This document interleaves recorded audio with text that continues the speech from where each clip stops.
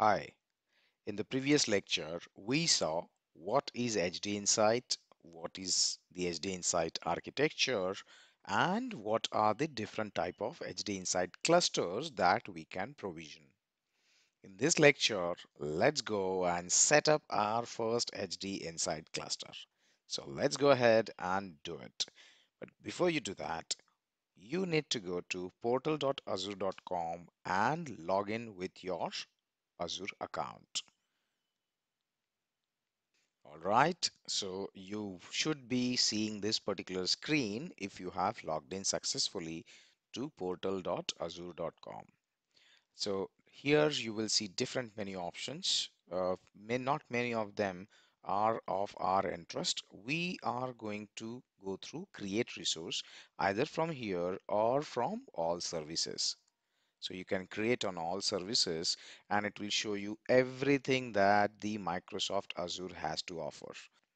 Our option of HD Insight is all the way down under analytics over here. If you do not want to do all this scrolling and searching, you can simply type HD Insight over here and it should be able to show you this particular screen upon cl clicking HD Insight cluster. You can go to create HD Insight cluster and it will basically show you a screen from where you can configure your HD Insight cluster. Alternatively, you can also click on create resources and search for HD Insight and it will show you this particular screen with some textual information as well. You can click on create and it would show you the same screen. So there are two ways we can create HD Insight cluster. Either quick create or the custom size settings apps etc i'm not going to show you all the details at this particular stage. We are simply going to create a hd insight cluster very very quickly while we might use some of the features of custom. All right so it's a three step process. Certain basic configuration settings you need to set your storage settings and some summary of configuration information to validate and verify it. Okay? So let me give some cluster name. So let's say it is jkhdfs 99 so jk is my initials hdfs and 99 it is simply checking it over here and it is available. So it will be appended or it will be added over here as a link. So whenever I want to access this cluster name will be jkhdfs99.azurehdinsight.net okay? Then next is to choose your subscription. I have got both pay as you go and free trial. The free trial is disabled because the free trial period has been over so I'm going to use pay as you go if you have your free trial subscription still active you can use that as well next is to configure the cluster type now as we have seen Azure offers Hadoop, HBase, Storm, Spark, RServer, Kafka, and interactive query as the cluster type. I'm going to simply choose Hadoop for now. You have got two operating systems here, Linux or Windows. However, Windows has been deprecated and no longer supported on HD Insight. All right, so we are simply going to choose Linux and I'm going to keep the default version of Hadoop on this, which is the latest version which is HDI 3.6. Now I'm not going to check this particular checkbox. If I do that, it is going to ask me for some sort of an active directory and it adds some additional cost to my cluster. So for now, I don't re really require that. So I'm going to keep it as it is. And you can simply read about these features which this particular cluster is going to provide, which is the SSH access, uh, certain HD Insight applications, custom virtual network, Hive Metastore, Oozie Metastore, as well as the data lake store access. I'm not going to bother too much about this at this stage and simply click on select. All right. Then next is the cluster login username. So if we want to connect to the cluster using Ambari or by other means, what should be the username from an admin perspective? So I'm going to keep the default admin as it is. Then it will ask you for the cluster login password. This password along with admin will be used for the login to HTTP using Ambari. Okay, so give some password and it complies with the policy. The SSH username as SSH user is nothing but the username which I will use while connecting to this cluster using an SSH client such as PuTTY.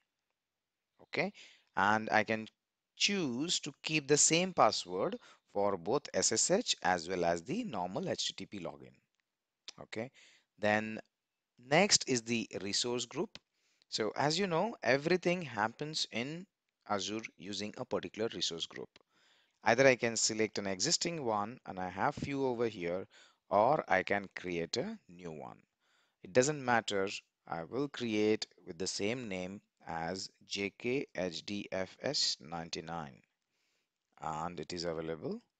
It doesn't matter. Uh, the location I suggest you choose something that is nearer to you.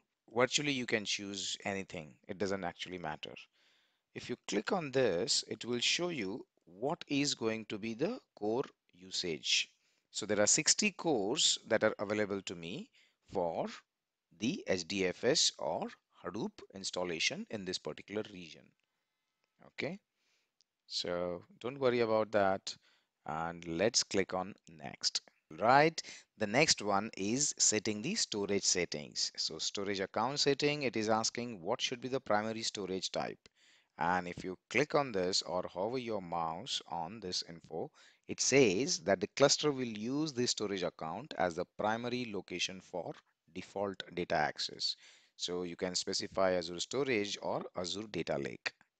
I'm going to keep it as Azure Storage. Selection methods is you need to specify whether you are going to use any subscription or if you are using an enterprise account, it may ask you for an access key based account. If you click on access key, it will ask you for a storage account name and the access key, right? I'm simply going to choose my subscriptions as the selection method.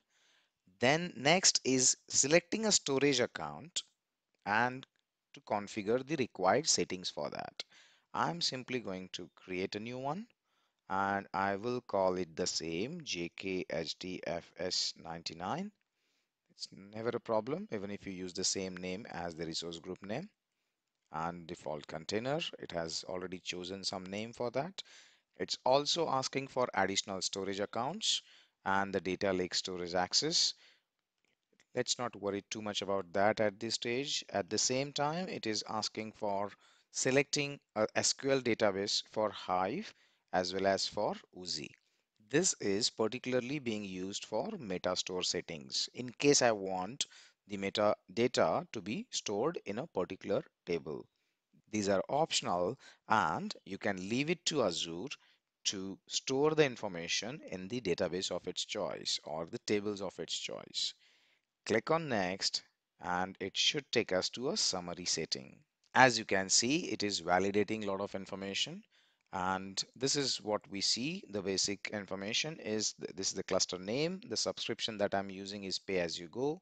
This is my cluster type. This is my username for cluster as well as the user name for SSH and my resource group as well as the location. Next is I have used the storage account of JKHDFS99, which is a new one. That is what it means. And then it also gives me some sort of a cost estimate. It has also given me the default cluster size that it has chosen for this HD Insight cluster. So it has chosen two head and four worker nodes. Okay? So one head is the active one the primary one and the second is basically for the backup purpose.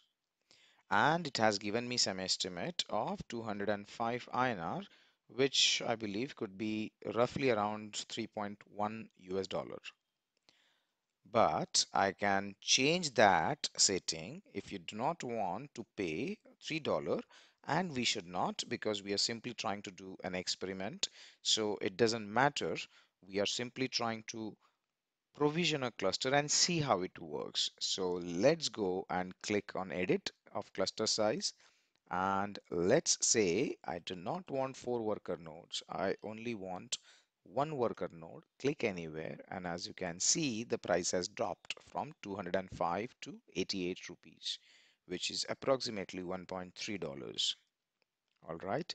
You can simply change the worker node size also from this link over here and it gives you certain recommended options with their configuration like how many cores it has and what has been the RAM as well as the disks and stuff like that what I'm going to do is click on this view all and it gives me the general purpose computers as well so as you can see, the general purpose one and some of the optimized one have different pricing depending upon the kind of configuration they have.